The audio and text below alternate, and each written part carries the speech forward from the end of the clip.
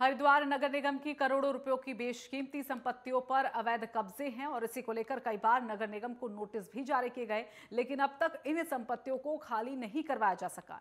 Haridwar mayor mayor Anita Sharma ने देवपुरा नगर निगम के एक भवन पर हुए कब्जे को लेकर औचक निरीक्षण किया। मामले की जानकारी देते हुए मेयर अनिता शर्मा ने कहा कि मेयर की अनुमति के बिना नगर आयुक्त भवन को आवंटित नहीं कर सकते हैं। इसी के साथ उन्होंने कहा कि नगर निगम की संपत्ति पर अवैध कब्जों को जल्द ही मुक्त कराया जाएगा।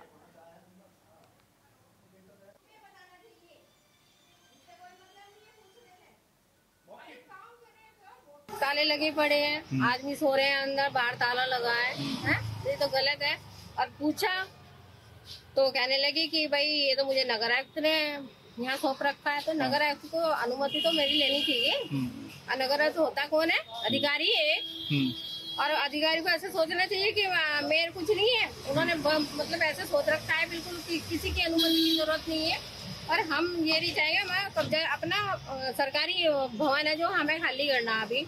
और हमें इसमें ताला लगाएँगे अभी। कोई पत्र नहीं दिखाया है। कह रही है साहब के पास है। अरे साहब के पास एक पत्र है तो तुम्हारे पास भी तो होना चाहिए। उसके लिए तो मैं कहूँगी कि ये बिल्कुल खाली होना चाहिए और हमारे, हम अपने हाथ में इससे चाबी लेंगे।